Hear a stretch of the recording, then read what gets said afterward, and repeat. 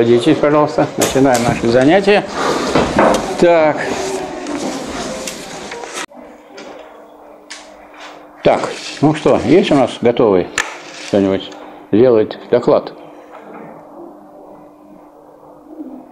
по крупным проблемам, которые рассматривают? Есть? Нет, не готовы? Ну, что вы, странно. Когда вы будете готовы? Но насилие нам не разрешили применять. Когда появятся интересные мысли. Что вы сказать, вы далеко прочитали как? Хотелось бы больше. Прочитали, нет? Всего нет. Нет? Пока нет. Там дело в том, что ну вот как раз в начале и в первой части больше всего всяких мыслей. Потом же такая критика идет больше. Поэтому, если вы здесь вот почитали начало, тут много можно найти. Но я по силе возможности, по, степ- по возможностям, пока пытаюсь вам показать, что тут можно, как можно искать, если быть внимательным. Вот мы закончили рассмотрение в прошлый раз вопроса о, о том, что такое способ производства, да? Что такое способ производства и что такое образ жизни. Что это просто разные выражения одного и того же. И вот потому, какой способ производства, да, это вот идея, которая здесь мельком, можно сказать, представлена, она получила дальнейшее развитие. Всего существует сколько способов производства. На сегодняшний день неизвестно. И, соответственно, образов жизни. Сколько? Вот начинаем считать. Первобытный общинный коммунизм. Вот один способ производства, потому как они производят средства производства, да, сообща производят, причем необходимые им средства к жизни. Средства производства мало производят, больше они занимаются собирательством, охотой и так далее. И вот в таком состоянии человечество прожило порядка 90 тысяч лет. В первобытном коммунизме. Собственность общественная. Затем наступает период разложения первобытно-общинного коммунизма и появляется рабовладение. А что является условием появления рабовладения? Вот как, как это связано с развитием производительных сил? Что до этого не хотели иметь рабов, а потом захотели, да? Так? Или это объясняется тоже производительными силами? Вот кто-то из присутствующих может объяснить, обращаясь к производительным силам, почему появилось рабовладение? И когда оно может появиться? При каких условиях?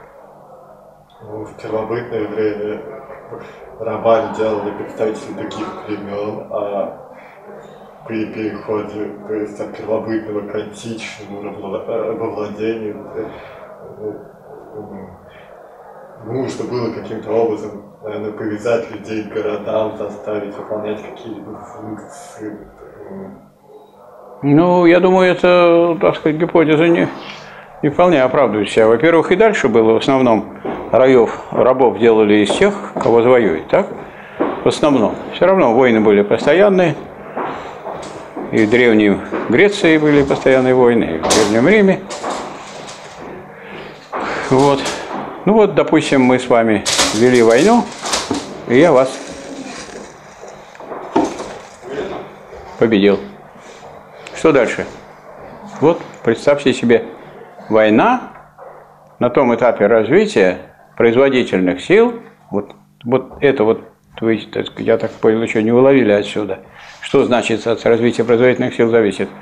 А производительные силы позволяют вам прокормить только одного человека. То есть кого? Себя. И мне производительные силы позволяют производить только себя. Могу я вас взять в плен? Какой смысл брать вас в плен? Какой смысл? Пленные должны работать, они должны что-то делать для меня. А вы вот только себя прокормите и все. Поэтому результат такой, что из нас двоих один должен выжить, а другой нет. Потому что кто, ну, кто проиграл в этой битве? Если вы проиграли, значит, до свидания. А если я проиграл, то вы мне говорите до свидания. А вот представьте себе, вы меня уже поймали через еще сотню лет. Я вот повержен, а вы победили. И вы можете меня в любой момент, я уже безоружен, вы меня можете убить. Я говорю, какой смысл вам меня убивать? какой смысл? Вот я сейчас могу сделать продуктов на себя и на вас. И вы будете сидеть, отдыхать, читать книги, ходить в филармонию.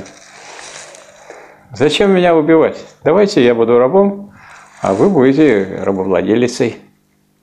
Когда это можно сделать? Вот тогда, когда я могу хотя бы на двух человек произвести средства к жизни. То есть вопрос в том, ну тут не совсем на двух, потому что у рабов тоже были семьи, да, или, хотя это не обязательно. То есть э, рабовладельца, ведь вы поймали воина, а вас не интересует его семья. Где она и что с ним. А ваша семья вас интересует. Вот, значит, вы тогда подождете еще сто лет, чтобы производительные силы были настолько развиты, чтобы один человек мог прокормить четырех там, или пятерых.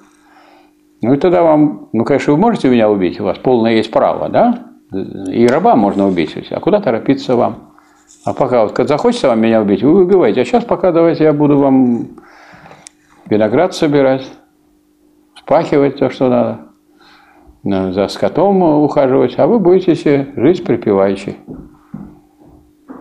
То есть рабство могло появиться только тогда, на том этапе развития производительных сил, когда производительные силы позволяли производить уже средства к жизни не только на одного человека, а на нескольких.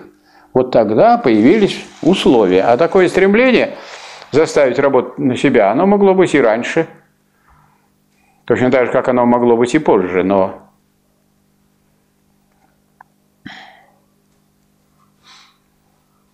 То есть это вот связано непосредственно с производительными силами, не с тем, что вот иностранное это племя, иностранное. Ну, прежде всего, конечно, нападали на и воевали с другими племенами.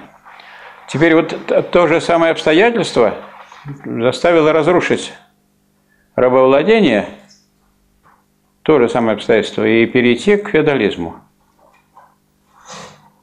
Почему? Потому что появились новые средства производства, которые рабам давать не следует. Правильно? Ну, кто такой раб? Он ведь абсолютно не заинтересован в результатах труда. Он работает только под угрозой того, что его убьют. Никакого экономического интереса у него нету. Поэтому вы ему дадите хорошее орудие труда, уже разработанное в связи с теми достижениями, которые были, при владении развились науки, искусство, технология развивалась, да? появились машины известные. И вот вы даете средство производства очень хорошее и дорогое. Рабон его ломает. Вам это надо? Не надо. Что нужно сделать, чтобы он не ломал? Как-то сделать так, чтобы раб тоже был и зависел от, от, от результатов, чтобы от результаты производства и как-то ему перепадали. Делается это очень просто. Значит, он не, не все будет. Вот если я уже был бы просвещенным рабовладельцем, я бы сказал так, ладно, не надо на меня все время работать. Я вас частично освобождаю. Вот вы четыре дня работаете на меня, понедельник, вторник, среда, четверг. Если не будете четыре дня работать, сами знаете, что будет. А дальше, пятница, суббота, воскресенье, меня вообще не волнует, что вы делаете. Но вы со своими средствами производства – которые у вас есть и которые я вам дал, вы работаете на меня и на себя. Вы будете уничтожать эти средства производства? Не будете, потому что здесь вы 4 дня у меня работаете, а там вам 3 дня. Если вы сломаете, когда вы у меня работаете, вы ничего не сможете сделать. Ну что, руками будете там скрести? Ведь даже самое элементарное орудие труда, которое у нас сейчас есть, допустим, лопата. Ну, чтобы была лопата, надо металл выплавить. Между прочим, правильно? Это уже большая задача. Второе, надо крепить этот самый металл с, этой круглой палкой для того, чтобы получилась лопата. А для этого надо что иметь в виду? Или элементарный гвоздь, или шуруп. Я думаю, шуруп тогда еще не было. То есть нужно было там, может быть, и несколько таких соединений делать. То есть это вот такая непростая была задача. Не говоря уже о том, что ведь разные бывают условия земледелия. Там. Одно дело, там у нас чернозем, если он мягкий, можно лопатой копать, а где-то нужно киркой. А кирка тоже довольно сложное, так сказать, орудие. Нужно ее затачивать, нужно ее, так сказать, хранять. Потом, если вы будете ломать, э, так будете обращаться, что у вас эта деревянная часть ломается, кто-то должен чинить, кто будет чинить. Это надо сказать, не просто простым ножом, значит, надо еще каким-то образом стругать эту вот деревянную часть. Короче говоря, когда производительные силы потребовали других производственных отношений, когда стало, когда появились такие орудия труда, которые уже, так сказать, требовали какого-то интереса у того, кто экономического интереса у того, кто их использует. В этом смысле это крепостничество идеально создает условия. Правильно? Или, а когда э, произошло уничтожение крепостничества и почему переход к капитализму? Когда? Вот, значит, мы вот с Олегом сделали завод. Вот, у нас там машины стоят, паром они там все эти приводятся в движение, а дело за малым осталось. Завод есть, а никто не идет работать. Что нужно сделать? А почему вы не идете к нам работать? Мы обеспечим вам заработную плату выше, чем вы получаете от своей работы вот там у барина. Но вас никто не отпускает. Тогда мы провозглашаем борьбу против крепост... крепостничества, против личной зависимости работника. Так, за освобождение, свобода, равенство, братство. У нас с вами братство, сестринство. Все хорошо. Как только мы это дело победили, обеспечили, идите теперь к нам работать. Вы говорите, не пойдем к вам, у вас не слишком здорово платят. А вы походите, поищите, вы походили, поискали. И пришли к нам. Ладно, говорите, Михаил Васильевич, ну, конечно, у вас не здорово, но ну ладно, согласны, а что делать? Вы же свободны, в том числе от... У вас ничего нет, ничего. Когда вас освободили, как он в России освободили крестьян, так освободили, что земли им совершенно не хватает для прокормления. То есть появились отрезки, отрезали это от той земли, которую обычно использовали крестьяне. Дескать, это вот помещичье, сюда вот не заходить, все. И э, все крестьяне стонали после этого самого освобождения от крепостного права. И стонали они до 17 года, до Октябрьской революции, потому что эсеры собирали наказы. Наказы состояли в том, что надо национализацию земли провести, что земля – Божий дар, поэтому она должна быть ничья, государственная. Крестьяне такие наказы писали. А распределять нужно по едокам. Вот если у вас семья 8 человек, вам 8 частей. А если у меня 3, 3 человека, 3 части. И вот так распределить.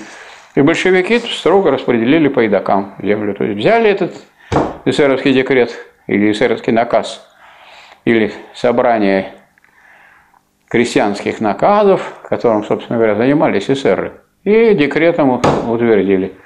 И сразу отобрали этих крестьян у эсеров политически, потому что, все поняли, что эти только они обещ... разговаривали, обещали, а эти взяли и сделали.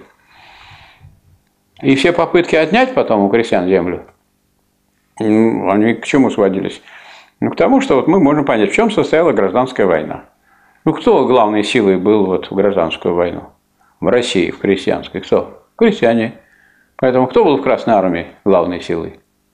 Были рабочие, они, конечно, составляли меньшинство Красной Армии. Были царские генералы, которые пошли на службу большевикам, большевики тоже их привлекли. Сказали, мы вам будем платить вот не так, как мы своим чиновникам платим. Своим мы платим чиновникам с учетом того максимума, вот не больше зарплаты среднего рабочего. А вам будем платить по старым ставкам, как специалистам. Идите к нам. И пошли. И у большевиков были более высококвалифицированные специалисты, военные, генералы там, и, так сказать, и другие офицеры, чем у Белой гвардии. А основной состав Белой гвардии тоже были крестьяне. А ядро там были белогвардейцы, помещики, капиталисты, их непосредственные э, так сказать, союзники. Ну и кто выиграл? Ну кто выиграл? Ну, Естественно, выиграли крестьяне, которые получили землю. А вот те крестьяне, которые не получили землю, как они воевали? Плохо. И вот те крестьяне, которые получили землю от большевиков, лучше воевали, чем те, которые ничего не получили. И попытки как дойти до Москвы у Деникина, вот он почти дошел. Почти дошел, но он никак не удержался и стал вешать крестьян и отнимать у них эти земельные наделы, которые дали большевики. И тем самым породил ненависть самой своей армии к себе. И вообще к этой всей белогвардейскому мероприятию. Точно так же, как царские офицеры, они же не э, сторонники большевистской идеи. Это вот люди Вот если этого не читают, они начинают объяснять это всякими идеями. А тут был простой э, интерес. Мы, значит, э, офицеры российские, у нас есть русское правительство одно, которое во главе с Лениным, а другого нет. А это Антанта. На Антанту работать не будем. Поэтому на Антанту пошли работать более мелкие военнослужащие. И Красная Армия разгромила Белую гвардию. На голову. Вот это, так сказать, ну как сейчас говорит, сейчас это говорит референдум или там голосование. Вот это голосование ногами. Проголосовало крестьянство. Почему? Потому что это была вековечная мечта и интерес глубочайший, получить землю, чтобы можно было на ней хозяйствовать. Какая это была революция в деревне? Вот это было доведение буржуазной революции до конца. Большевики довели буржуазную революцию в деревне до конца. А социалистическая революция в деревне когда была? Ну, социалистическая революция в городе была в 17 году, а в деревне когда? Была в деревне социалистическая революция? От того, что вот мы наделы сделаем одинаковые, мы решим эту проблему? Бедных, богатых? Нет, не решим. Потому что когда вы разделите все в одной семье, будет больше девочек родиться, в другой больше мальчиков. Девочки, так сказать, вырастут, станут девушками, выйдут замуж, уйдут, землю некому обрабатывать. А тут, значит, здоровые уже парни, они могут там 8, 10, 13 человек, может быть, которые могут, они эту землицу арендуют или покупают. И постепенно получилось у нас то, что было до 17 года, как что и предсказывали большевики. 6% к 28 году 6% кулаков. 6% кулаков, также середняки и бедняки. Поэтому, конечно, не сказать, что такой с большой радостью люди шли на коллективизацию, но они шли, потому что выхода другого не видели, потому что все вернулось на круги своя. У одних есть земля, одни богатые, другие бедные. Поэтому, когда говорят о ликвидации кулачества как классы, как-то это понимают в политическом плане, что якобы мы какие-то, так сказать, там принимаем политические меры. А это на самом деле в экономическом плане означает, как только вы сделаете коллективизацию, никто не будет продавать свою рабочую силу кулакам. Вот и все. И они как класс уже не существуют. А если они будут, так сказать, какие-то враждебные действия осуществлять против господствующего класса, то, как известно, всякое государство, и в этом смысле государство социалистическое не исключение, всякое государство всегда во все времена подавляло своих противников. Рабовладельческое государство подавляло рабов? Подавляло. Феодальное государство подавляло Сеньку Радина и Емельку Пугачева и восстание, и возвращало этих беглых крепостных, возвращало. Есть такое государство, которое не, под, не подавляет своих противников? Ну, нету. Можно от этого отделываться всякими разговорами, или удивляться, или возмущаться, но это факт общеисторический. Вот обратите внимание, значит, вот одна и та же идея о том, что формы производства, то есть способ производства, зависит от, от того, каким способом производится то есть какие есть орудия труда и как производятся жизненные средства. Вот от этого зависит все остальное уже. И тогда мы получаем пять способов производства. Первобытно-общинный коммунизм, рабовладение, феодализм, капитализм и коммунизм, который является снятием капитализма и тем самым убирает все, все достижения предшествующих формаций, способов производства. Потому что производительные силы никуда не деваются. Производительные силы, они вообще во многом, это общественные отношения не безразличны к производительным силам, а, безраз, а производительные силы безразличны к тем производительным, к тем общественным отношениям, которые есть. Они, если брать средства производства особенно, ну, человек, главная производительная сила, конечно, не безразличен, а вот если средства производства, они развиваются и развиваются. Они всегда развиваются во все времена, и при любых правительствах, и при любом строе, и при любой политической деятельности. Можете вы привести пример какой-нибудь, скажем, страны или какого-то общества, в котором бы не развивались производительные силы? Такого не может быть. Вот, скажем, начнут, можно сказать, что в 90-е годы у нас было разорение, разрушение в России. И что, производительные силы не, не развивались? Развивались. Производительность труда росла. Даже если выкидываются средства производства. Это, наверное, новые-то не будете выкидывать, вы же старые выкинете. Но если вы старый выкинете, а новый оставите, производительность труда вырастет. Объемы производства упадут, а производительность труда вырастет. И поэтому, несмотря на все всякие проблемы, вот сейчас начали делать против России санкции, хорошо, скажем, сейчас э, вовсю работает импортозамещение и замещают все то, что делали за границей. И этот процесс очень быстро идет, потому что все, в общем, в России есть. Все, и приборостроение, и электроника, не в тех масштабах пока, и не всегда такого качества, но все есть. А по некоторым уже позициям, ну, вот такие уровни, какие есть в мире. Недавно вышел журнал «Эксперт», там такая есть статья о синих воротничках, и там говорится об успехах вот современной России в развитии производительных сил. Именно в развитии производительных сил. Если вы возьмете какие-нибудь экономические статьи, там будут вам рассказывать про цены, будут рассказывать про EBITDA, которая там называется какая-то часть прибыли, вам будут рассказывать про валютные курсы, а эти вот люди, которые сказать, изучают, как изменяются производительные силы, они говорят о том, что производительные силы развиваются. Станкостроение было совсем уже в, в таком разрушенном состоянии поднимается станкостроение в России. Есть такое объединение «СТАН», которое выпускает современные станки, в том числе станки с числовым программным управлением. И как вы понимаете, наши бы ракеты не летали, если бы мы не смогли заменить э, электронику, которую мы получаем на Западе, на свою. И разработаны два вида процессоров уже отечественных, с помощью которых можно делать современные компьютеры, не обращаясь никуда. Но они дороже будут. Пока. Пока. А дороговизна зависит от чего? От масштабов. Опять от того, от, от того самого производства. Будут высокие масштабы. Например, есть у нас энергосберегающие лампы. Есть. Это вот не энергосберегающие лампы. Это старинные лампы. И хоть их пытаются выдать за новые, они были в далекие советские времена. На всяких фабриках везде были. Это люминесцентные лампы.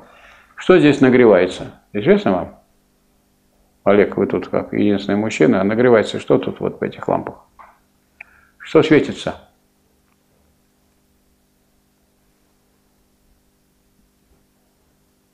Ну, это религиоведы, они, они выше смотрят, что это лампа? Они там вот туда заглядывают. Значит, светится в обычной лампе, про которую говорят деньгосберегающая, который стоит 3 рубля, там светится вольфрамовая нить. Там, правда, такие были фокусы, что после реформы 65 года мудрые люди решили, раз теперь главная прибыль после 65 года, а ты купил лампочку, и вот все она у него горит и горит, горит. И так это же разорение для производства. Надо, чтобы они перегорали. Поэтому один товарищ сделал рационализаторское предложение, чтобы эту лампочку-то укоротить. Она стала короче, она погорит, погорит, и потахнет, погаснет. Вы пойдете в магазин, купите новую. И так это идет. И пошел оборот. И в эти самые деньгосберегающие лампы в основном у нас и находятся в потреблении. Вот эти лампы, тут нет вольфрама. Тут есть ртуть, пары ртути. Вот эти пары ртути нагреваются и светятся. И главный дефект этих не в том, что они вот так вот светят, так вот мигают, а есть еще пускатели, есть это вот, которые специально делаются для того, чтобы вот это вот свечение обеспечивать. Дрожание вот это света. Но сами по себе они страшны как раз тем, что вот когда они закончат свою службу, куда их бросят у нас, как вы думаете? Куда все бросают? На помойку. А что с ними будет на помойке? Они будут разобьются. И что из них выйдет? Ртуть. Ртуть. А ртуть – яд страшный. Причем яд, который, ну, никуда его, он там везде пойдет ходить, и всякие, не, не вступать ни в какие соединения, и потом можно везде его найти, в том числе и в пище. Поэтому это, так сказать, э, лампы очень плохие. Но поскольку у нас рынок захвачен в современной России со времен Ельцина крупнейшими э, американскими компаниями, двумя, General Electric и Philips. Вот они решили подсунуть нам, чтобы мы закупали все. И посмотрите, пройдите по коридору, там вот эти вот всякие закрученные такие, или просто палки. вот эти вот, это все те же самые люминесцентные лампы с ртутью. Никто их там в мире их больше не употребляет или старается не употреблять. И во все эти самые отсталые страны их сбывают. Ну вот, наши, наши очень рады, говорят, это энергосберегающие. Ничего подобного. Они, конечно, энергии меньше потребляют, чем деньгосберегающие лампы, или как лампочки Ильича их еще называют. Но э, есть разработанные, в том числе благодаря работам нашего Нобелевского лауреата Жареса Алферова, разработаны светодиодные лампы. В чем разница? А в том, что там э, они светятся не потому, что какой-то элемент нагревается, а светится потому, что электричество превращается в свет и немножко в тепло. Только немножко в тепло, а в основном свет. То есть вот они действительно энергосберегающие. Поэтому, если вы купите 7-ваттную лампу, светодиодную, она горит как 70 ватт. Вот это энергосберегающий. Но вот то, что нам удалось сделать, если вы пойдете на любые станции железной дороги, вы везде увидите светодиодные лампы. Там уже миллиарды рублей экономятся из-за этого. Но в бытовых условиях в основном э, вот такие или те самые деньгосберегающие, о которых я говорил. А почему? А потому что государство не вкладывает никакие ресурсы в объемы. То есть они есть, их производят, в том числе есть Светлана светодиоды. Так? И, и это все наладан дышит, потому что нет объемов. Если был бы заказ там на 10 миллионов или на 20 миллионов, ну, это было бы, они были бы там по 100 рублей. А если это все поштучно делается или тысячами только, то это получается, что вот они могут быть 200, отечественные лампы 200 рублей, 250, ну есть и поменьше, но отечественные дорогие, а вот китайские, пожалуйста, есть по 150 рублей. Лампы вы купили, особенно там для таких э, особенных помещений, как туалеты и ванная, куда там все время люди включают и время, все время забывают. Купите туда 5-ваттную лампу, которая будет гореть как 50, и забудьте об этом, включили, не включили, потому что 5 ватт это вообще ничто, почти ничего не, не потребляет нисколько электричества. И более того, у нас вот Хрущева, где, Хрущева, где я живу, у нас низкие потолки. И у нас, значит, пяти ламповые люстры висит. От нее жара такая была прямо вся. Ну, поставили туда все эти лампы. Они им можно руку, рукой отворачивать горящую лампу, а вот вы такую лампу обыкновенно никак не отвернете. Ну, это говорит о чем? О том, что вот э, развитие производительных сил все равно идет. Оно идет постоянно э, и э, или в больших объемах, или в меньших объемах, или с такими или иными противоречиями. Но вот это производство средств жизни, оно и есть вот то постоянное движение – которое потом реализуется в движении уже экономическое, политическое, вот совершается революции, переходит от одного способа производства к другому, или переходит от того, что они убивают своих противников, а переходит к рабовладению. Зачем убивать, когда он может вас кормить? Смысла нет. Поэтому вот то, на чем мы остановились, он говорит о том, что если вот мысли глубокие, а мы сейчас говорим о классических текстах, правильно? И это текст классический. То есть это не то, что вот эта мысль, которая не следует ее обдумывать, но на ней можно остановиться и покопаться еще. Если мы покопаемся, то мы найдем еще интересный момент.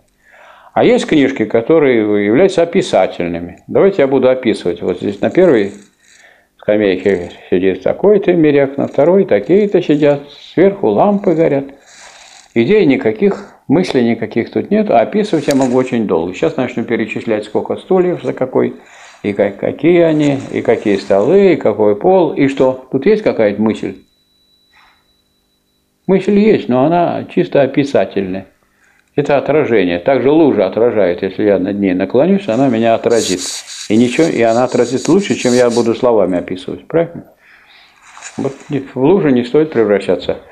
А если речь идет а преобразование производительных сил, то тогда нужна идея. А идея что такое?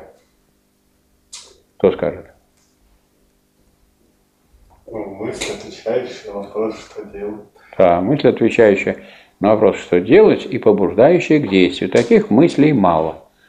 Вот вы можете так сказать, внимательно, если будете слушать, что вам говорят, разговоры своих коллег.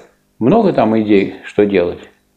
Ну, не, исклю... не считая того, что пойдем сейчас в буфет, пойдем сейчас в столовую, пойдем, не пойдем на лекцию и так далее. Что это за идеи? А вот есть какие глубокие идеи, их почти, их очень мало.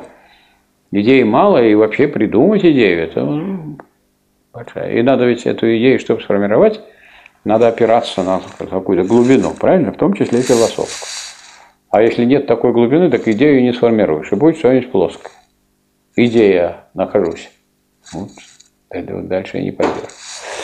Ну вот, э, обратимся мы в самый э, низ той же самой страницы, где говорится об образе жизни. Там говорится, что взаимоотношения между различными нациями зависят от того, насколько каждая из них развила свои производительные силы, разделение труда и внутреннее общение. Отношения между нациями от этого зависят.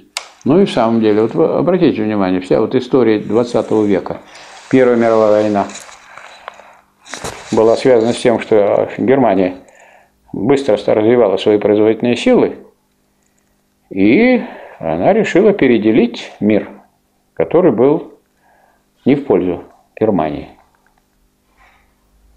Вот э, Германия, разгромленная в Первую мировую войну и ободранная, так сказать, державами-победительницами Англии и Франции, она развивала свои производительные силы и развила их очень сильно. Ну, как вот к началу Второй мировой войны, как вы понимаете, что уровень производительных сил в Германии был такой, что она могла потребовать другого места в мире, чем ей было уготовано. И она его потребовала. Это потом можно рассказывать, что вот был такой такой Гитлер, были фашисты и так далее. Но если у них не было бы вот этой базы производительных сил, то могли бы они всю Европу захватить. Ну, как вот Франция, у которой была линия Мажино, все эти европейские государства, у которых были армии, которые были готовы защищать свою родину, ну как они защищали? Ну кто там защищал? Вот они прошли маршем, и французы не смогли ничего сделать. А в Англию, в Англию они посылали свои ракеты, которые они начали тоже производить. Поэтому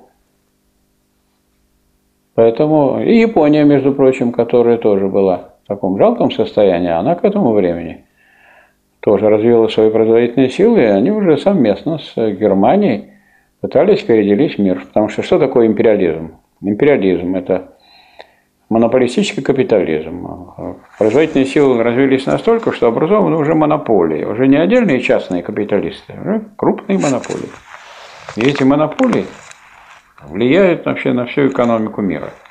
И они не только разделили уже весь мир, они собираются его переделить. А если у нас силы меняются, мы переделили, а потом я стал сильнее. Я прихожу говорю, нет, так не пойдет, как у нас мы договорились. Отдавайте мне ваши телефоны, книжки, там, давайте сюда. А если вы усилились, вы сказать, да давайте вашу книжку, нам лучше будет листать, чем мы будем смотреть все это по компьютерам. Сила. Сила. А сила какая? Экономическая. Прежде всего, экономическая сила определяет отношения между нациями. Есть нации сильные, а есть нации слабые. И в чем состоял колониализм? В том, что экономически развитые страны угнетали страны экономически неразвитые или слабо развитые.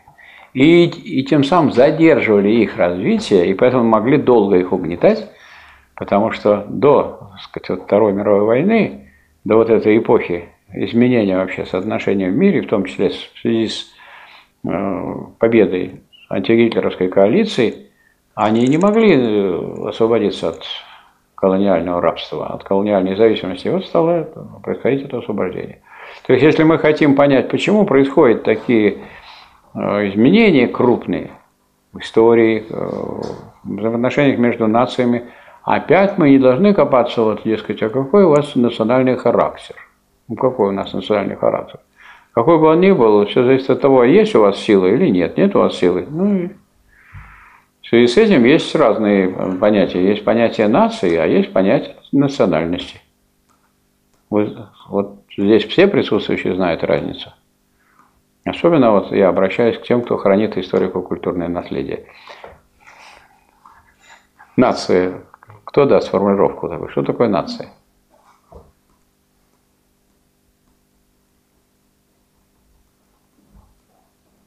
Наводящий вопрос. Как вы думаете, в понятии нации присутствует экономика? Или нет? Или присутствует то, какая кровь у, у представителей этих наций? Присутствует экономика или нет? Да. Присутствует. А еще что присутствует в понятии нации? Территория тоже присутствует, обязательно. Территориальное единство. Если нет территориального единства, это не, не, это не нация. Это люди одной национальности в разных местах живут. Национальность как определяется? По экономике или по крови? По крови. А нация? По крови определяется? Нет, вообще. Вот в понятии нации, я вот сейчас вам дам формулировку. Нация. Нация – это общность людей, отличающаяся или базирующаяся на общности территории, экономики, языка и культуры. Все. Вот, скажем, евреи, которые живут в России и говорят на русском языке, и это язык родной. Они к какой нации принадлежат? Они какой национальности? Евреи. А нация какая у них? Русская. Это как вот правильно выразить? Это русские еврейского происхождения. Пример. Вот такой Левитан вам известен, русский художник Левитан. Вот вы же будете говорить, вот русский художник Левитан. Видите, какие он картины там? Плес, да? На Волге. Какие он картины нарисовал? Это чей художник? Это русский художник? Русский. Какого происхождения? Еврейского происхождения. А диктор был Левитан. Какая экономика, какая территория, какая культура. Это тоже русский, русский диктор еврейского происхождения. А вы обратите внимание, вот, на особенность русской нации. Все нации обычно существительными называются. Шведская нация как называется? Шведы. Так? Английская там англосаксы. Да? Немецкая немцы. Американцы. Французы. Это все существительные. А русские, как говорят, а тут прилагательные. И это прилагательное, между прочим, обнимает. У нас есть удмурты, которые одни считают себя удмуртами, а другие считают себя русскими, хотя они вот по крови удмурты. А что это? Где у нас Удмуртия? Там Чайковский родился. Вот так, на, одно, на берегу того озера, где находится, где Воткинск, и где находятся наши заводы по производству ракет. Средней, меньшей дальности и других.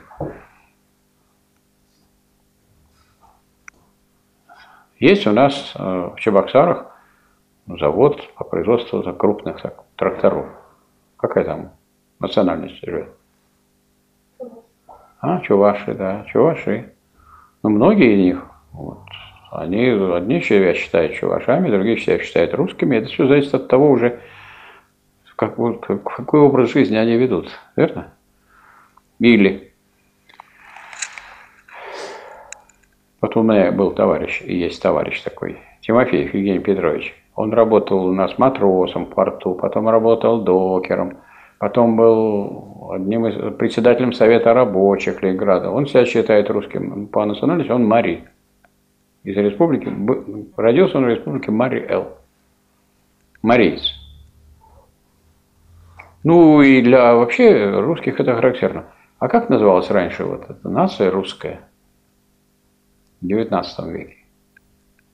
Так русские и называлось? Нет. Великоросс. Вот, великоросс, тоже существительно. Великороссы, малоросы, украинцы, червоноросы, закарпатские русские. И, что там, и белорусы. Вот сколько русских, русских много было. А вот выделялось великоросс. Так что тут тоже с чем это связано? Ну, связано, опять-таки, с одни на одной территории, другие на другой территории. И там ну, есть соответственные особенности. Экономика в известном смысле там имеет какие-то черты. А еврейская нация есть? А? Ну, теперь есть, у них же есть государство. Теперь есть. Но она, вот эта еврейская нация, ограничена той территорией, на которой постоянно живут евреи. Но это же территория, между прочим, и живут и арабы. Поэтому территория у них общая, а там нации две. Потому что есть ну, какой-то отдельной арабской территории, а экономики вроде тоже нет. То есть там тоже интересное такое. Вот. То есть языка общего нет, поэтому еще единой нации не получается, но экономика-то общая. Точно так же, как чувашскую экономику никак не вырвешь из экономики России. И удмурскую экономику никак, и татарскую экономику. Нет, нет татарской экономики. Ну как себе представляете разделение труда? Может быть татарская экономика? Это, это нонсенс. Поэтому мы вот с вами забрели вот в такие, в такие дебри, которые, ну, обычно вот в других курсах не затрагиваются. Не затрагиваются, потому что у нас не экономический факультет, да, и вообще экономику не очень-то люди и знают, и политэкономию тоже. А современное преподавание политэкономии таково, что изучают экономикс, то есть там э, цены выросли, спрос упал, цены упали, спрос вырос. И всякие, так сказать, э, эластичность э, цены от дохода или дохода от цены и так далее. Изучая взаимозависимость разных категорий рыночных. Ну, а мы тут копаем с вами производительные силы, самые основы. А производительные силы мало кто заглядывает. Что в них происходит, и от этого, а от них зависит все, собственно, существование, развитие страны. Будет слабая производительная сила, закроют ваши музеи. В первую очередь сказать, да зачем эти музеи? От них одно только, одно только разорение. Правильно? И нечего будет изучать. Если будет производительная сила развиваться, будут повышать зарплату тем, кто будет работать, вам будут повышать зарплату и вас, так сказать, давать возможность вести там научную работу. Что такое научная работа? Надо людей оторвать от производительного труда чтобы они постоянно занимались только этим исследованием. Правильно? Вы на это и претендуете, между прочим. Если я правильно понимаю. Ну вот. Так, ну вот такие интересные мы выводы получаем, хотя даже вот когда мы начинаем смотреть национальные вопросы, все они связаны с тем же самым, о чем вот и говорили Маркс и Энгельс. Дальше. Уровень развития производительных сил нации обнаруживается всего наследие в том, в какой степени развито у нее разделение труда. То есть пока один, один все делает, тут никакого развития нет. А вот когда разделяется труд, одни занимаются земледелием, другие занимаются животноводством, одни занимаются сельским хозяйством, другие занимаются промышленностью. Промышленности разные отрасли. И чем более развито разделение труда, тем больше Сейчас у нас лекция. Так. Дальше. Разделение труда в пределах той или иной нации приводит прежде всего к отделению промышленного и торгового труда от труда земледельческого и тем самым к отделению города от деревни и к противоположности их интересов. Дальнейшее развитие разделения труда приводит к обособлению торгового труда от промышленного. Вот проблема преодоления различий между городом и деревней. Вот когда она сначала вот, сначала они отделились, а теперь, как говорится, мечта тех, кто хочет добиться социального равенства, чтобы этого разделения на город и деревню не было, чтобы в городе не было вот той самой загазованности, не было уничтожения так сказать, всей растительности по возможности под предлогом постройки новых зданий, а чтобы в деревне был бы уровень культуры и возможности получать культурное развитие не хуже, чем в городе. И до этого далеко, как вы понимаете, очень далеко. И то, что мы наблюдаем, пока идет даже вообще в противоположном направлении. Заславская такая была академика, она заявила о том, что есть неперспективные деревни, дескать, у вас там живут там 15 человек, надо эти деревни ликвидировать, пусть ходят в школу, вон туда ездят, за 20 километров. Перспективные деревни, а там есть люди доживают, и пусть доживают. Так быстрее они доживут, если, если оттуда все убрать. И амбулаторию, и медпункт убрать оттуда, и магазин оттуда убрать, они быстрее там доживут. И этот процесс, э, он очень сильно шел, и люди, которые бывают сейчас и знают в деревнях наших таких исконных э, русских областях, знают, какое разорение там произошло. Вот говорится о том, что различные ступени в развитии разделения труда являются вместе с тем и различными формами собственности. То есть каждая ступень разделения труда определяет также и отношение индивидов друг к другу, соответственно их отношению к материалу, орудиям и продуктам труда. Вот в связи с этим я ставлю перед вами вопрос, а что такое собственность? Почему от разделения труда зависит собственность? Собственность, как вы понимаете, что такое?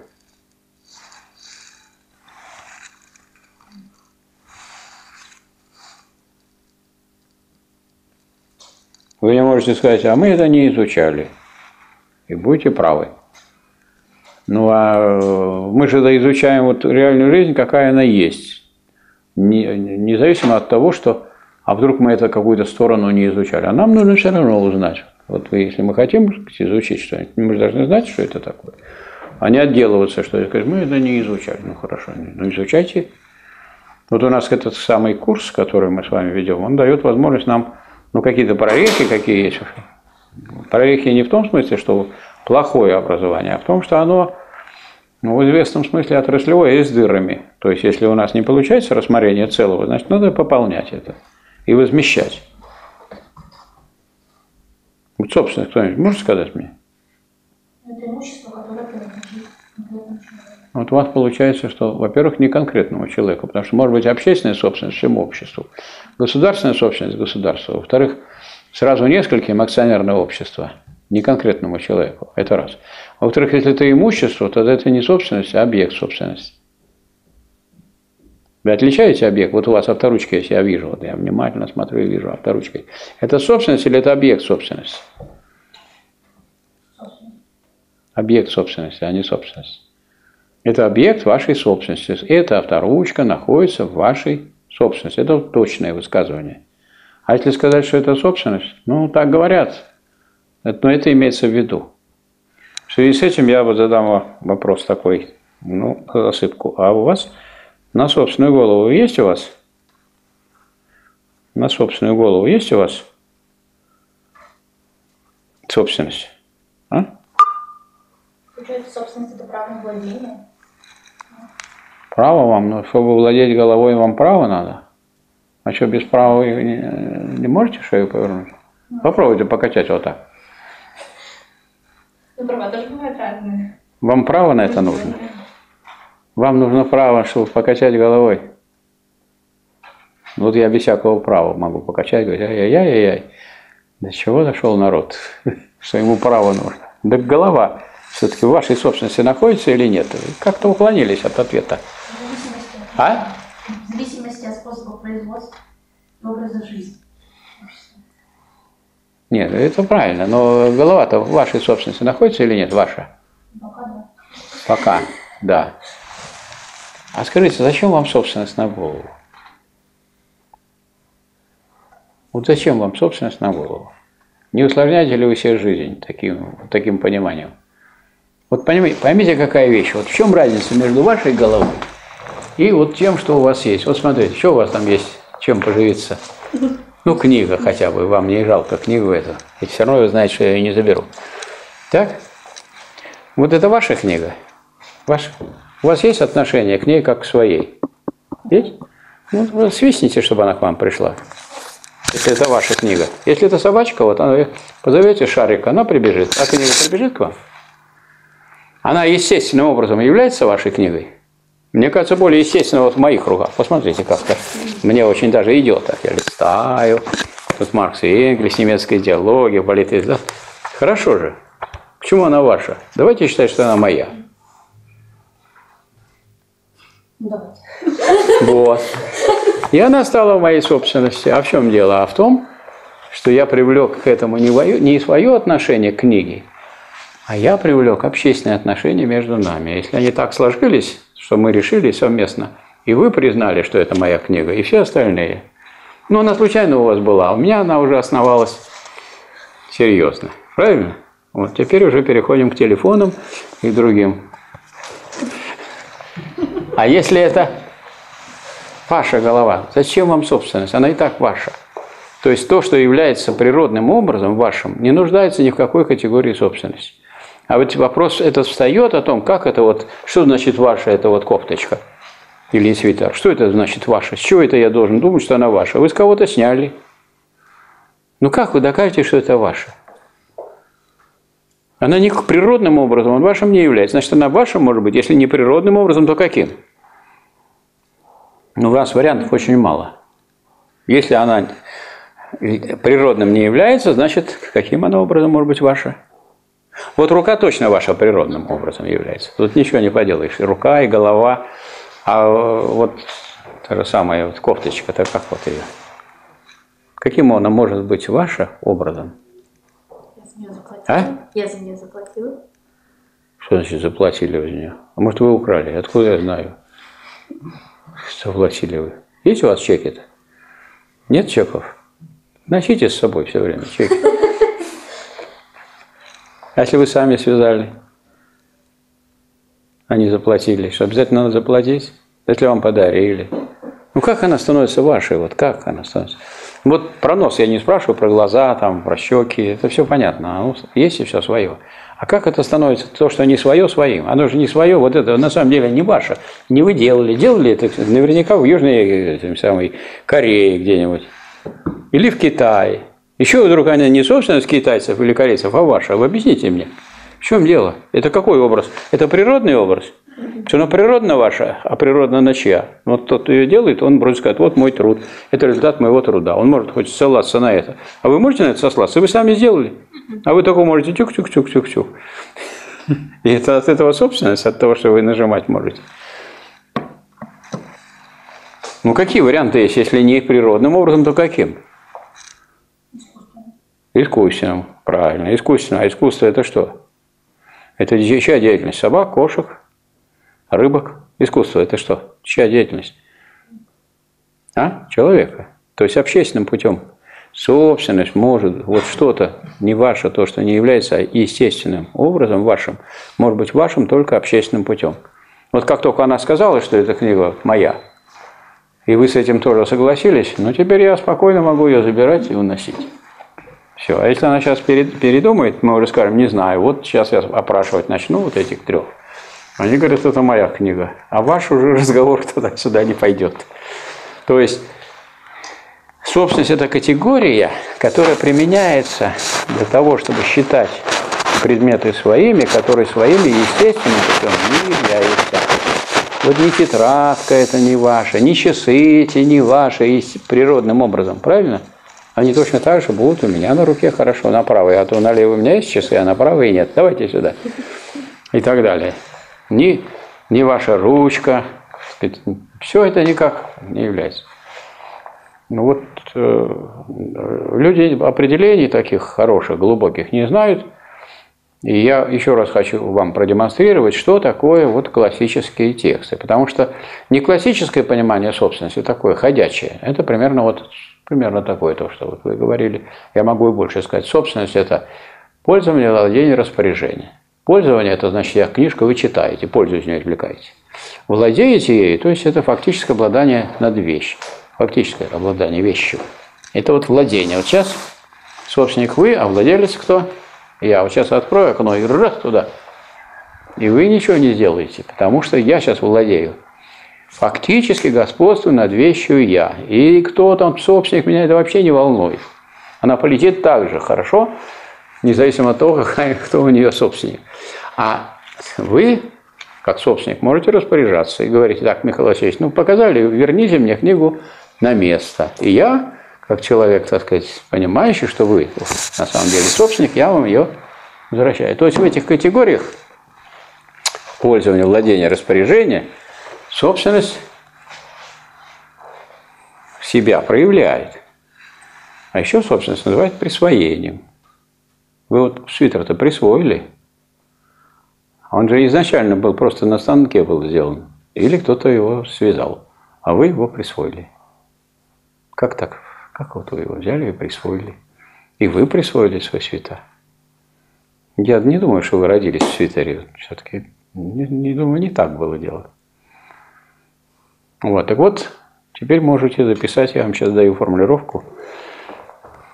понятие собственности, которое Маркс дал в экономических рукописях, вот в этой нет. Дело в том, что это тут начатки вот этой и теории, в том числе экономической, в экономической, в этой немецкой идеологии. А более такие развернутые определения имеются в других произведениях. Вот собственность есть отношение субъекта. Кто может быть субъектом? А кто угодно. Вот не, не обязательно конкретный человек, как вы сначала сказали. То есть субъектом, если какая-то часть общества дает частную собственность, а если все общество дает общественную собственность, в зависимости от того, кто субъект. Собственность индивидуальная, может быть, если индивид какой-то имеет собственность. Есть коллективная, если коллектив. Так вот, собственность есть отношение субъекта к объективным условиям производства. Вот они опять условия производства. Чувствуете вот то, о чем мы говорим? Производство средств к жизни к объективным условиям производства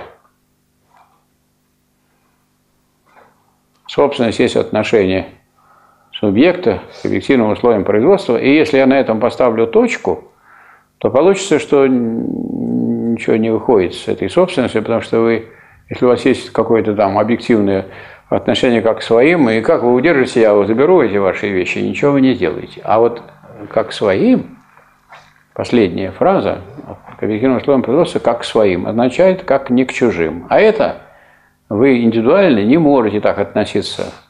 Они свои могут только если общество это признает, если это закреплено общественным путем.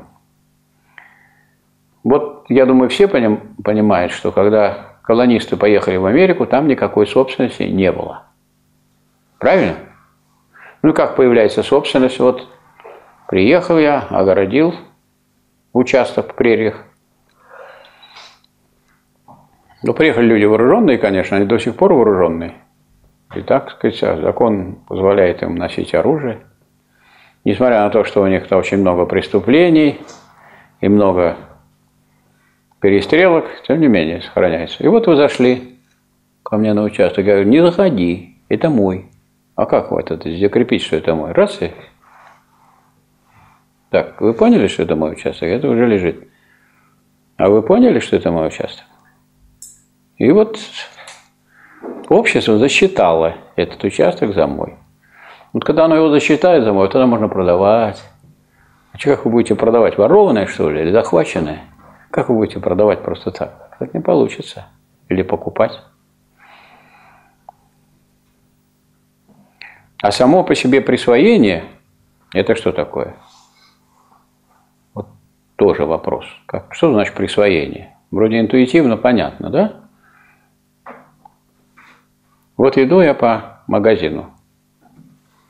Сейчас они самообслуживание, хорошо вижу, булка.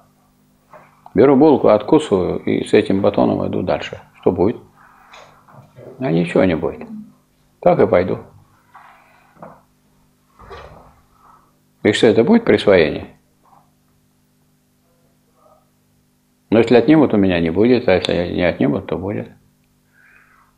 После того, как бабушку одну довели до смерти, подумают, вот дедушка идет, батончик ест. Лучше его не трогать, потому что можно сесть в тюрьму. И все, пошел батончик мой. И никаких денег не надо. Попробуйте, но я вас не провоцирую. Скажут, ну студенты, они же вообще голодные, у них стипендия 1480 рублей. Как можно вообще от них булку отнимать? Я не, не понимаю. Короче говоря, что такое присвоение? Присвоение – это процесс превращения в процесс своей жизнедеятельности. Я не просто взял, а я откусил и ем. А если я вообще успел маленькую булочку съесть до того, как до кассы дошел, так и вообще проблемы нет, правильно? Присвоение – это превращение в процесс своей жизнедеятельности. И хотя сейчас мы говорим, что в собственности могут быть заводы, фабрики, пароходы, но они вот тоже превращены в процесс жизнедеятельности собственников этих вот заводов, фабрик, пароходов, потому что он вдруг решит, что этот пароход нужно продать, он его продаст. Если завод это нужно остановить, он его остановит. Правильно? То есть собственность есть отношение субъекта к объективным условиям производства. Я вас спросил про голову, а голова у вас объективное условие производства или субъективное? Вы гвозди не забиваете никогда? Нет, тогда она не объективное условие производства. А что вы можете еще головой делать? Вот футболисты играют головой. А, вот можно кувшины носить, кстати. Строитесь на работу, будете воду носить. Сейчас вот эти, знаете, таскают, так тяжело им, а вы так грациозно будете нести. Надо сделать красивые стеклянные кувшины, и вот сейчас как раз разносят. Это отбоя не будет, это бизнес такой будет, сильный. Идет девушка и несет кувшин. Да все лучи это будут вызывать, чем этих дураков. Красота. И голова будет условием производства. Правильно? Вот очень хорошее, очень глубокое определение собственности, отношение субъекта к объективным условиям производства, как к своим. Как к своим. Так, понятно. Ну, начинаем смотреть. Я вот жду, что вы тоже будете что-нибудь находить. Вот здесь, вот на этой же странице, которую я открыл, это у меня 20 страница собрания сочинений, говорится о том, что соотношение этих различных подразделений обусловливается способом применения земледельческого, промышленного и торгового труда, патриархализм, рабство, сословие, классы. Классы – это что такое, кто-нибудь может сказать?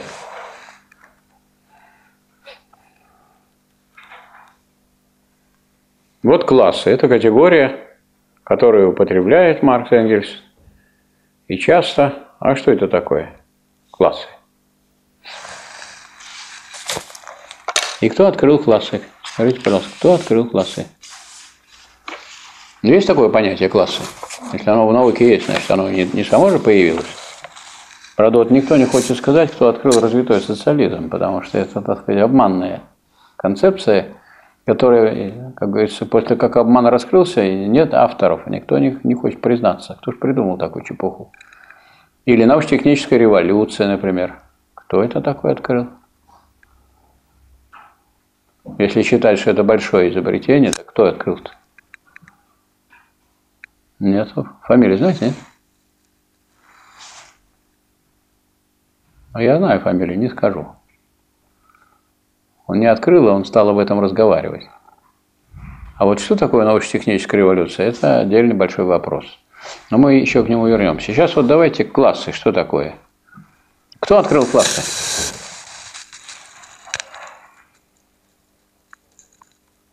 Марс открыл классы? Вот я не знаю, как три тяжело без пистолетов вот, преподавать. Так бы я подошел, спросил, так, Марс открыл класс или не открыл? сразу был бы какой-то ответ. А так, ну просто, я не знаю, куда обращаться.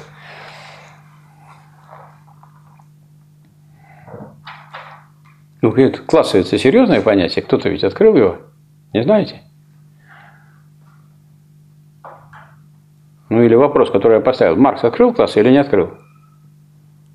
Нет, они были известны до него. Вот, нет, были, вот, правильно. Олег, правильно знает.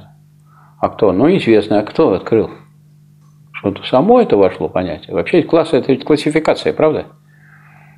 Класс – это деление общества на какие-то большие группы по какому-то принципу. А кто это вот придумал? Потому что вот делят классы растений, бывает, да, в ботанике. Классы животных, парнокопытные, членистоногие, так? Членистоногие знаете хоть таких? Да. Пауки, жуки. Так, дальше, что мы знаем? Позвоночные, беспозвоночные. Так? Мы к, каким, к какому относимся классу? Позвоночных или беспозвоночных? Вот. Поэтому, а вот беспозвоночных позвонок не болит. Никогда позвоночник не болит. Им хорошо. А нам плохо. У нас бывает болит. А еще такие страсти, что бывает кто-нибудь сломает позвоночник. А без позвоночных такой проблемы нету. А амебы не имеют этого. То есть там вот расклассифицировано. Ну а кто такую классификацию навел? Ну, значит, выяснили, что не Маркс. Ну вот я принес вам, как, как водится, так сказать, на каком-нибудь процессе, доказательство письменное. Письмо Маркса Иосифу Вейдемейеру в Нью-Йорк. Лондон, 5 марта 1852 года. Что касается меня, то мне не принадлежит ни та заслуга, что я открыл существование классов в современном обществе, ни та, что я открыл их борьбу между собою. Буржуазные историки задолго до меня, вот прямо как Олег сказал, вот прямо вот один к одному, задолго до меня изложили историческое развитие этой борьбы классов. А буржуазные экономисты, экономическую анатомию классов, имеется в виду Адам Смит, Рикардо, а буржуазные историки – это Тьерри, Минье и Гизо. То, что я сделал нового, состояло в доказательстве следующего. Первое – что существование классов связано лишь с определенными историческими фазами развития производства. Опять та же мысль. Обратите внимание. С фазами развития производства. Все сводится к производству вот этих средств жизни. Второе. Что классовая борьба необходимо ведет к диктатуре пролетариата. И третье. Что эта диктатура сама составляет лишь переход к уничтожению всяких классов и обществу без классов. Маркс Иосифу Вейдемейеру в Нью-Йорк, Лондон, 5 марта 1852 года. А история, история открытия классов такова, что феодалы уже почувствовали, что их время заканчивается.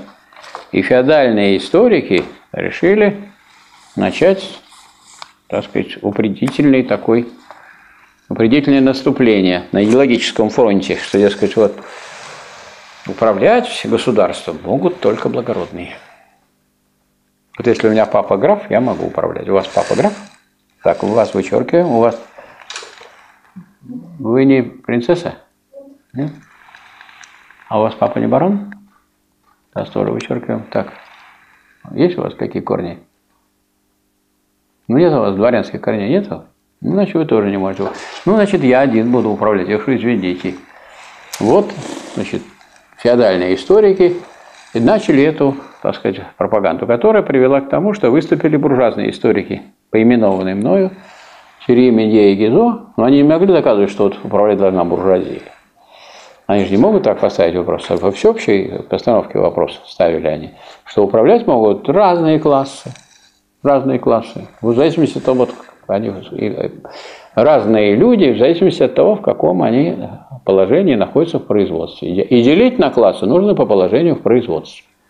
Деление на классы – это не по свету глаз, не по взглядам, не по идеям, а по какому принципу? И этот принцип был введен по положению в производстве. И эту вот экономическую анатомию классов раскрыли как раз Адам Смит и Рикардо по положению в производстве. Вот принцип – Строго говоря, в понятии классов нет ничего от субъективизма или от э, сознания. К какому вы классу относитесь? Это не имеет ничего общего с вашими представлениями, взглядами, идеями. Почему? Ну, наверное, вы знаете исторические примеры, что представители самых разных классов могут занимать самые противоположные позиции. Например, Ленин – дворянин, а он является вождем рабочего класса. Маркс – буржуазный интеллигент – Положение его в производстве, что он материальных благ не создает, создает духовные блага. А вот соратник его, Энгельс, сначала он был тоже такой же буржуазный интеллигент, но папа у него был. Правда, не дворянин, а фабрикант. Поэтому Энгельс после смерти своего папаши стал фабрикантом. Ну, фабрикант может быть э, идеологом рабочего класса? Может, потому что Общественное бытие определяет общественное сознание, но по отношению к отдельному человеку это не работает. А человек есть продукт обстоятельств воспитания. Как сложилось? Вот это очень интересно и привлекательно. Значит, что мы получили, что вот э, и вопрос о классах тоже упирается положение в производстве. А потом развертывается. У Ленина развертывается в Великом Почине подробно это вот положение в производстве. Это место в исторически определенной системе общественного производства, отношение к средствам производства, большей частью зафиксированные в законах, оформленные в законах, роль в общественной организации труда, ну, кто из подчиняется, а кто из, так сказать, руководит делами экономическими размер и способ получения той доли общественного богатства, которое располагают люди. Вот так традиционно получилось в науке, что интеллигенцию классом не называют. Во-первых, потому что она не такая большая группа. А во-вторых, потому что она очень слабо отличается, от, скажем, от той же самой мелкой буржуазии. Вот мелкая буржуазия чем живет в буржуазном обществе? Продажей своего продукта. Мелкая буржуазия – это кто такие? Вот, кстати, тоже вопрос. Кто знает, кто такой мелкий буржуа? И можно ли его определить так? Маленький буржуй. Нельзя так его определить. Мелкий буржуа не буржуй. Вот в чем беда. Каково, как определяется мелкий буржуа? Можно я скажу? Ну, по крайней мере, я на занятиях вот отвечаю, работаю. Вы не должны сказать, что я тут ничего не делаю, правда? Значит, мелкий буржуа – это мелкий хозяйчик, работающий на рынок. Классическое определение. Мелкий хозяйчик, работающий на рынок работающий, не, не, не эксплуатирующий чужого труда, а работающий. Причем таких мелких хозяйчиков элементарно можно эксплуатировать. Допустим, они произвели продукт, в котором 8 часов труда закреплено. Поехали на рынок, а там перекупщики сказали, ну слушай, бабушка или дедушка, ну что ты там будешь стоять? Тебя же все обманут. Давай мы тебе сразу живые деньги дадим, и ты поезжай в свою деревню, купи себе там маслица, купи себе соли, что тебе надо еще, гостинцы детям, внукам. Приезжай тогда, вот тебе денежки, иди. И дали мы денежки, которые содержатся, в которых содержится 3 часа труда. А он 8 часов потратил. Значит, 5 часов перешло этого труда куда? Вот этим перекупщикам. И сейчас такая же картина. Вот сейчас у нас молоко. Сколько стоит бутылка, литр молока в производстве? Ну, 20. И больше, чем 20 им не заплатят. Никто. Так построена уже вся эта пирамида сейчас.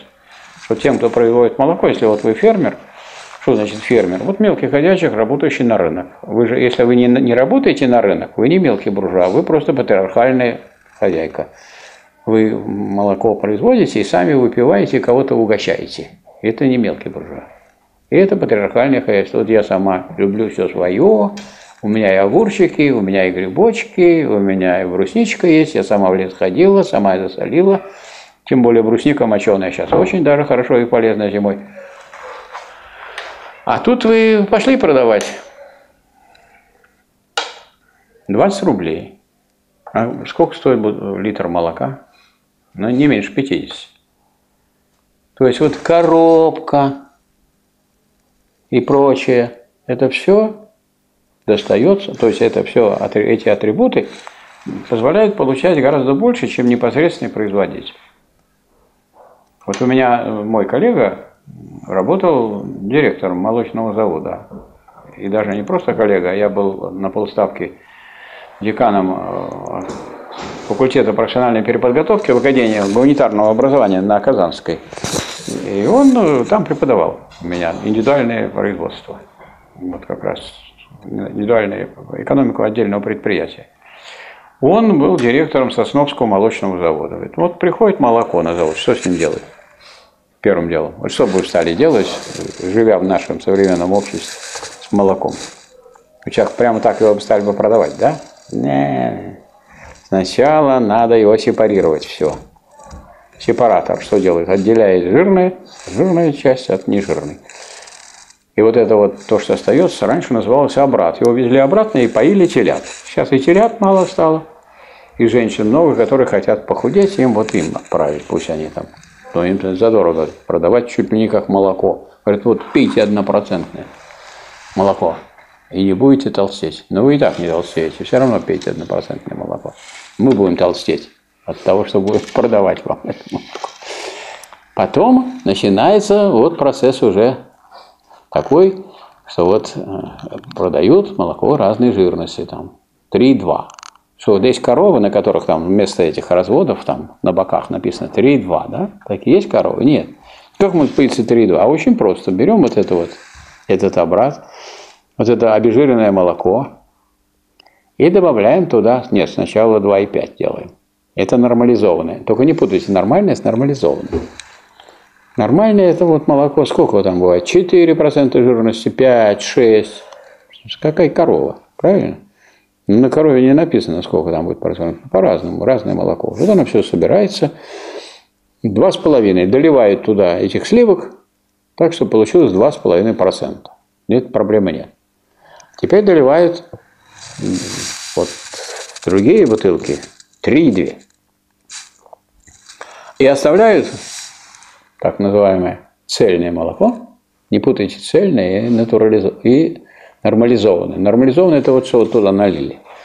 А цельное – это его не сепарировали. Вот это вот цельное молоко продают, оно дорогое. Отборное пишут. Отборное – это цельное молоко, поскольку оно цельное, оно не сепарированное, поэтому там они не могут точную жирность указать. Это пишут там 3,7, там 4,5. Тире. По-разному. И могут указать вот уже конкретные бутылки, какая там жирность, но изначально не могут. В итоге, что получается? Что вот непосредственных производителей, товаропроизводителей, мелких буржуа эксплуатируют, забирают у них их труд. Поэтому нельзя их отождествлять с буржуа никоим образом. Во-первых, они сами работают. Во-вторых, они никого не нанимают. В-третьих, они не эксплуатируют. Или если они нанимают кого-то, то эпизодически на время. И немногих. И основная масса у них труда – это свой труд. Вот такой мелкий ходячек, работающий на рынок, называется мелким буржуа. И в, обычно в каждой капиталистической стране, не в абстракции, которая вот в капитале у Маркса, дескать, давайте будем считать, что у нас есть буржуазия и рабочий, все. Это в абстракции. А на самом деле в любой стране, во Франции, в Германии, в России, кто есть? Рабочий класс, буржуазия и мелкая буржуазия. Ну, а поскольку мелкая буржуазия – это те, кто производит материальные блага, а если я произвожу духовные блага, и на продажу. Вот у нас норовят нас тоже так, как так изображать, что мы продаем. Так вроде я считал, что я знания несу народу. Нет, говорят, нет, это не то. Сейчас вы продаете, мы продаем, уже университет продает какие образовательные услуги. Ну, вроде как парикмахер, он может вас подстричь, и то есть голову вырабатывать снаружи. А вы, говорит, Михаил Васильевич, вы изнутри голову обрабатываете, и мы услуги ваши будем торговать. Поскольку у нас есть государственная организация, она как бы торгует, у нас же есть платное образование. Вот она продает эти образовательные услуги, дескать, вам бесплатно, вам платно, вам бесплатно, вам платно. И сидят в одном и том же. Ну, мы, естественно, преподаватели, нам какая разница, платно или бесплатно, от этого дважды два не становится ни семь, ни три. От того, что это платно или бесплатно. Но э, вот общественным образом получается, что э, услуги образованных людей или деятельность образованных людей превращают в товар, хотя естественным путем он товаром не является, потому что товар – это вещь. Вот в самом начале капитала написано «товар – это прежде всего полезная вещь». А у нас труд что дает? Не вещь, а идею. А идея – это совсем не то же самое, что товар. Вот смотрите, вот мел может быть товаром. Если я этот мел значит, продам Олегу, поменяюсь с ним на телефон, это будет такая сделка не очень для него выгодная. Но сел-то у меня это мой специальный, потом будете рассказывать, что это мол, мел получен, тогда-то это обычный телефон. Поменялись. А если я вам знания даю, они что, у меня пропадают, что ли? Тут нет обмена. Когда речь идет о распространении знаний, об обучении или пропаганде знаний, то есть о деятельности людей умственного труда, здесь вообще нет обмена. Поэтому здесь нет места торговли. Ну, торговать можно. Сейчас всем можно торговать. Ну, совести тоже ведь можно торговать. Чем только не торгуют. Если есть основная масса продается, э, продуктов производится как товары, то на этой основе разворачивается торговля всем остальным. В том числе и идеями. В том числе вот это вот. Сейчас, говорит, мы вот не будете эту музыку слушать, потому что вот теперь интернационал это какая-то компания. Интернационал вы не можете включить, не заплатив деньги. А там, так сказать, собственники этого самого вот этого произведения. И дальше больше там идет в сети. Это нельзя, это нельзя, это заплатить. И если вы слушаете, например, то вы пират. Сделайте себе повязку теперь вот такую на глаза. И слушайте, пожалуйста, ту музыку, которую вам находите в сети бесплатно. Ну уж тогда уж пират так пират. И нож такой кривой. То есть, входить. Пират называют. У меня один товарищ дипломник писал по этому поводу, что все время шла борьба с теми, кто пытается превратить в собственность то, что не является объективным условием производства. Это понятие собственности тоже не подпадает. Идея разве является объективным? Она субъективное условие производства. Поэтому нельзя ее делать объектом собственности. Скажем, умные люди или умные писатели. Там, Лев Толстой сказал, не-не-не, я не хочу, чтобы у меня после моей смерти потом право на печатание моих произведений, мои родственнички имели этим и торговали. Поэтому я разрешаю всем печатать сколько угодно и все. Так?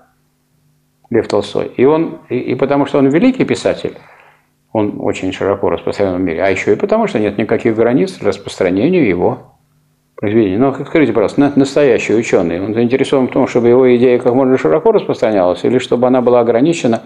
Так, у вас деньги есть? Нету? А проходи. Я тут посмотрел в Рин, мы же в Рин со свои там труды. Думаю, да-ка мне лень было лезть, и что-то мне нужно было посмотреть у себя в работе. Я раз там на Ринце нажал, там говорят 140 рублей. Думаю, пошли вы. И, так сказать, думаю, ладно, пойду книгу открывать. 140. Это вот я могу теперь, чтобы посмотреть в Ринце, я должен зайти и заплатить деньги туда. Ну, то есть там вы можете туда по карте послать и так далее. И дальше больше – и втягивается в это государство, что, дескать, мы будем бороться. Чем вы будете бороться? Какой научно-технический прогресс? Когда для того, чтобы был научно-технический прогресс, надо снять всякие препоны распространению новых технических достижений. Так? Так. А то, что авторское право, это остается. Так если вы меня читаете, так вы цитируете, что вы это взяли из Попова. Страница такая, книга такая. В чем проблема? Не надо путать авторское право с торговлей идеями. Вот авторское право, если вы что-то там берете кусками и не ссылаетесь, это называется научный воровство, плагиат. А если вы ссылаетесь, если вы включаете, известно ваш компьютер, известно ваш IP, вообще нет вопроса, кто это делает. Поэтому здесь совершенно понятно, кто проигрывает. Поэтому ясно, что вы не коммерцией занимаетесь. Другое дело, если кто-то хочет этим торговать вместо автора, ну тогда да, тогда надо вот, вот это может быть пираты. То есть пираты это те, которые торгуют идеями вместо. То есть авторы дают бесплатно, а они этим торгуют. Вот, например, моя книга «Социальная диалектика», я знаю, что если откроешь там ее, как ее купить, там некоторые, э, Жанна Озенов ей торгует. Он э, говорит, давайте заказывайте, я вам напечатаю. Есть такой человек, я его не знаю. А мою книгу можно скачать на фонде Рабочей Академии на, на сайте бесплатно. А тем не менее, ну не все знают, где ее можно бесплатно скачать. А вот там есть люди, которые торгуют ей. Так, ну что, мы вот сегодня тоже интересные вопросы разобрали, важные и полезные для нас с вами, да? Вот, поэтому какая у нас стоит перед вами задача? Какая? Вот, доклады. Доклады возьмите там, вот какое место вы дальше читаете, Найдите интересная какая мысль, которая вам показалась заслуживающей внимания, и рассмотрите ее. Рассмотрите ее, так сказать, так, какое-то имеет значение, что это означает. Вот она современная или она, так сказать, это уже можно забыть и так далее. Правильно? То есть критически надо к этому подойти. А всякая критика состоит не просто в неутвержении, а состоит в том, что найти в ней то, что, скажем, сейчас актуально и современное, и то, что в той или иной мере отошло. Правильно? Так, спасибо за внимание. Всего доброго.